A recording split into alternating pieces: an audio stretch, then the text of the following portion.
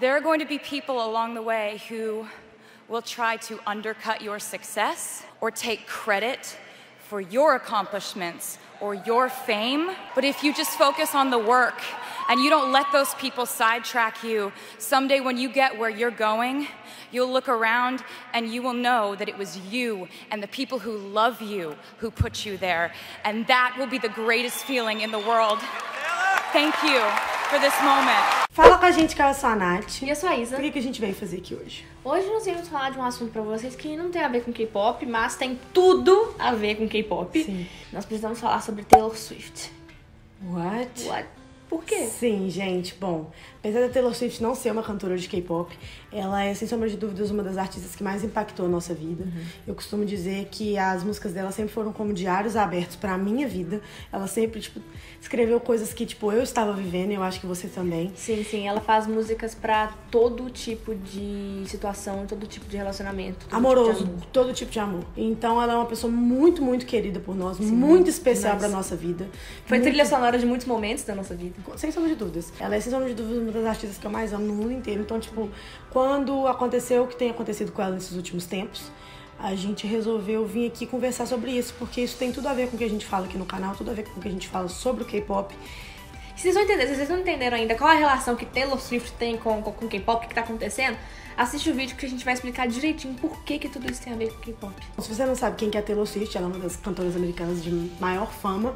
Nessa última década ela já fez vários e vários hits e tal. Ela é literalmente a compositora de todos os CDs dela desde que ela tinha 12, anos de idade. Ela compunha no quarto dela, quietinha, tudo, tudo que a gente escuta hoje em dia. tudo. Ela sempre foi, tipo, ela sempre teve esse controle criativo em cima das músicas dela, porque ela é uma exímia, ela é uma poeta, né? Ela foi descoberta por um homem chamado Scott Porchetta, ele é o dono de uma gravadora chamada Big Machine Records, ele que assinou a Taylor aos 16 anos. A Taylor já passou por muitos altos e baixos na carreira dela, ela já foi, tipo, a pessoa mais famosa do mundo e Alvo de muitas polêmicas, não só questões de namoro, que todo mundo sabe. escândalos de namoro, ela passa todo, Todo a vida, a vida inteira. inteira. Mas também, muitas vezes, com brigas com outros famosos.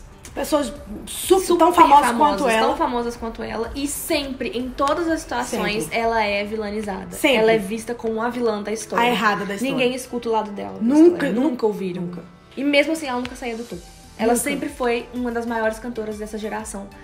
Em venda, em tudo. Em tudo. Mesmo Ela com é tudo isso. public enemy number one, a pessoa mais odiada do mundo, a figura pública mais odiada do mundo, mas ao mesmo tempo a figura pública mais rentável do mundo. Todo mundo deve conhecer o Scooter Braun. O Scooter Braun, ele foi o cara que descobriu o Justin, Justin Bieber. Bieber lá em 2008, sabe? Então ele fez tudo, toda a carreira dele, que ele quer, o que ele é hoje. né? Então, tipo assim, um cara super jovem, que tinha 27 anos, que descobriu um menino de 14 e que mudou, mudou, a a vida desse... da música, mudou a vida dessa criança, mudou muitas vidas, inclusive, depois de tudo isso. Exatamente.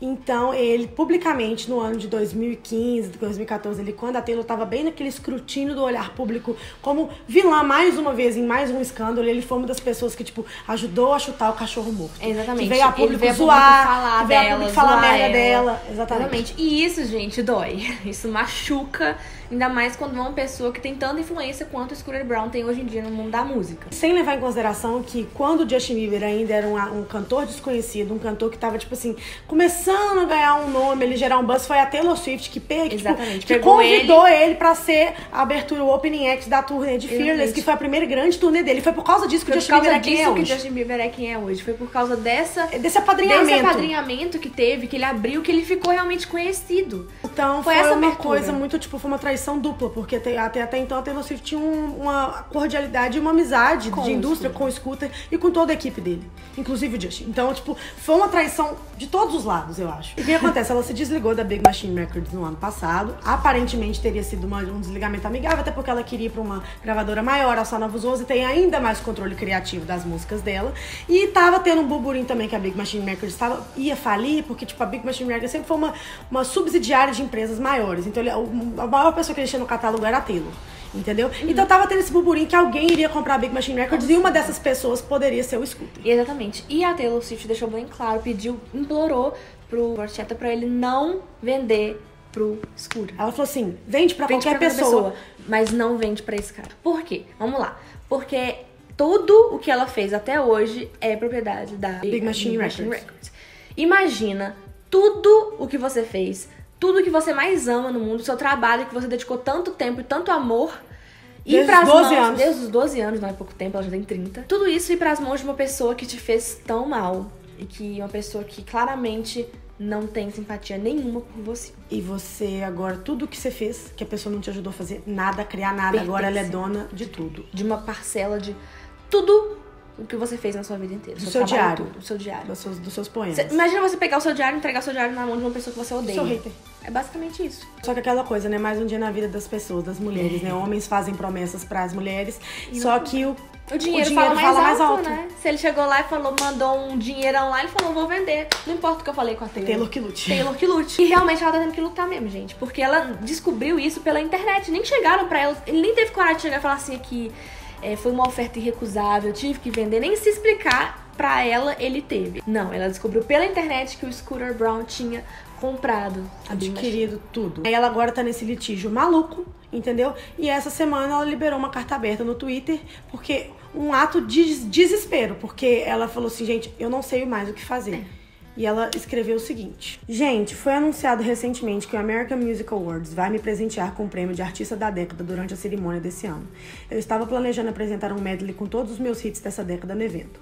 Scott Brochera, antigo dono da Big Machine Records e Scooter Braun, me disseram que agora eu não tenho permissão para apresentar minhas músicas antigas na TV, porque eles alegam que isso seria regravar minhas músicas antes que eu seja autorizada a fazer isso no ano que vem. Além disso, e essa não foi a forma como eu planejei contar a vocês essa novidade, a Netflix tem trabalhado em um dos documentários sobre a minha vida nos últimos anos. Scooter e Scott recusaram o uso das minhas músicas mais antigas ou gravações de performances minhas no projeto, mesmo que não tenha nenhuma menção a eles ou a Big Machine Records nas gravações. Scott Prochera contou à minha equipe que eles vão permitir que eu use as minhas músicas somente se eu fizer as seguintes coisas. Se eu concordar em não regravar versões idênticas de minhas músicas no ano que vem, o que é algo que eu tenho autorização legal e pretendo fazer, e também disse ao meu time que eu preciso parar de falar sobre ele e Scooter Braun. Sinto realmente que dividir o que está acontecendo comigo pode mudar o nível de consciência de outros artistas e possivelmente ajudá-los a evitar casos similares. A mensagem que estou enviando a mim é bem clara. Basicamente, seja uma boa menina e calhe a boca, ou você será punida. Isso é errado. Nenhum desses homens sequer se envolveu na composição dessas músicas. Eles não fizeram nada para criar o relacionamento que tenho com meus fãs. Então é aqui que eu peço ajuda. Por favor, façam com que Scott Borchetta e Scooter Brown saibam como vocês se sentem sobre isso. Scooter empresaria artistas que eu verdadeiramente acredito que se preocupam com outros artistas e seus trabalhos. Por favor, peçam isso a eles. Espero que talvez eles possam colocar um pouco de bom senso nesses homens que estão exercitando controle tirânico sobre alguém que só quer tocar as músicas que ela mesma escreveu. Estou especialmente pedindo ajuda ao The Carlyle Group, que investiu dinheiro para a venda das minhas músicas para esses dois homens. Eu só quero poder apresentar minhas próprias músicas. É isso. Tentei lidar com isso de forma privada através do meu time, mas não conseguimos resolver nada dessa forma. Agora, minha performance no AMA, o documentário da Netflix e outros eventos gravados que eu estava planejando fazer até novembro de 2020 são um ponto de interrogação. Amo vocês e achei que vocês deveriam saber o que está acontecendo. Taylor. Inclusive, várias pessoas ficaram do lado da Taylor, vários artistas, inclusive a Selena Gomez, que é uma das melhores amigas da Taylor desde muitos anos atrás. Ela namorou muitos anos o Justin Bieber, ela conhece pessoalmente, profundamente o Scooter. Então, Uhum. se elas levantaram a voz delas pra ajudar a Taylor, é porque a Taylor tem razão Taylor nessa tem razão história. nessa história. E a Big Machine Records foi a público falar que tudo isso é uma fanfic da Taylor, que ela tem permissão sim, que ela fez uma narrativa que não existe. E mais Cara, uma vez ela que foi que a Taylor tem a ganhar com isso mentindo? Mais uma vez ela foi vilanizada. Não faz sentido ela mentir, gente. Não faz sentido nenhum. Amada, vai cantar suas músicas no anime quietinha se você tem permissão. Pra que, que ela fez A esse única coisa todo? que ela fala, a única coisa que eu quero é poder cantar as minhas músicas. Se ela pudesse cantar as músicas dela, ela não teria motivo pra fazer isso. Eu não sei você, mas eu não acredito nos homens de terno. Eu não Eu- acredito, eu acredito na, eu acredito na poetinha de 12 anos que tava no quarto cantando aquelas músicas. E o- onde que o Scooter tem a ver com K-pop? Bom, Vamos lá, né? Ele, ele é gerente também da carreira da Ariana Grande, que já falou várias e várias e várias vezes que foi por causa do Scooter que ela colocou várias músicas, mesmo depois da morte do Mac Miller, que foi o primeiro grande amor da vida dela, e, ela, e foi ele que colocou ela. Coloca o nome dele na música Thank You Next, coloca isso, tem vídeo comprovando aqui, a gente vai deixar aqui pra vocês verem. I was literally begging Scooter to take it off, and he was like, You're thinking too hard now. This is special, and you should share it with everybody. And I was like, I'm just gonna let go. Are you pushing her to put that record on, even though she says or has pushback? No, whatever she wants goes. You know, like it's her art, it's her story, and yeah, Scooter was the one. E outra coisa, vocês, não sei se vocês sabem, mas o Scooter, ele, ele é o responsável pela carreira da Ciel no Ocidente. E o que, que ele fez por ela? A mesma coisa que o ID. Nada. Não Nada. fez nada. Mais do mesmo. na geladeira, mais do mesmo. Não fez Ele nada também foi por responsável ela. por assinar o Psy na época que o Psy tava bombando. Que não fez nada, que não fez nada também. Ou seja, mostrando que além de machista, ele também é xenofóbico. Sim. Porque todos os artistas estrangeiros, né, que vieram lá, não, não fizeram nada. Ele não fez nada. absolutamente nada por nenhum essas dessas- pessoas. Ele é o contato americano da YG no Ocidente e ele fez pelos artistas da YG, o que o YG faz pelos nada. artistas. Zero Nada. nadas. E é nisso que a gente tá pegando. Porque isso não acontece só no Ocidente. Isso acontece muito no K-pop. Você tem visto o que tem acontecendo com o Blackpink? Vocês têm visto o que tá acontecendo com o Blackpink? Quarto artistas que não têm liberdade criativa nenhuma sobre as músicas delas, sobre o que elas vão lançar, sobre o que elas não vão lançar, sobre o que elas vão fazer, onde elas vão cantar. Elas não têm nenhuma liberdade criativa pra nada, pra fazer nada. Elas são completamente controladas por homens de terra. Então, simplesmente, o que, que acontece? Esse ano, a YG foi a público, bem no começo do ano, falando que esse ano seria um novo recomeço para a YG, que eles já não seriam mais essa, essa empresa que promete coisas e não as cumpre. Eles vieram a público falando que eles dariam dois comebacks pro Blackpink, todo o resto dos solos e o- tudo que a gente estava querendo esse Da ano empresa. sairia. E a gente chegou agora, tá chegando em dezembro, e a gente viu o que, que a gente teve. O Nada. comeback é adiado ainda. Nada. O Um comeback, adiado pro mesmo ano que vem. economistas vindo a público falando que as, as ações da YG necessitavam de um comeback agora nesse último bimestre, o comeback foi adiado Sem previsão. indefinidamente. Sem previsão. É 2020, mas sem previsão de E a diferença de tudo, gente, é que quando você tem um artista da magnitude do Blackpink, eles não são- elas não são mais K-pop, elas são artistas mundiais. Elas Elas, não têm mais, tipo assim, jurisdição só na Coreia. Todo mundo tá revoltado com isso. Vários, tipo, grandes veículos, como a Teen Vogue, vieram a público falando, gente, isso tá isso horrível. tá horrível, isso não faz sentido nenhum. Por que que estão privando as meninas disso tudo? Por que estão privando os fãs internacionais Porque, e nacionais da, da música delas? Porque literalmente elas têm muita coisa gravada. Elas têm muita coisa pronta, só que não pode lançar.